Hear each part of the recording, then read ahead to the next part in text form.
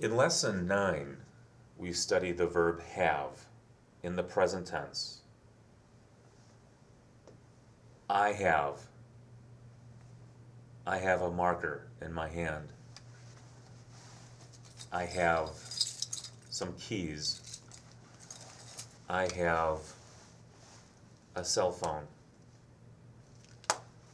I have some money. Have shows ownership.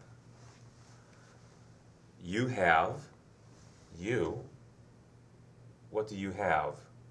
You answer, I have.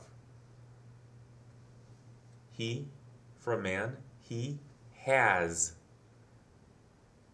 For a woman, she has.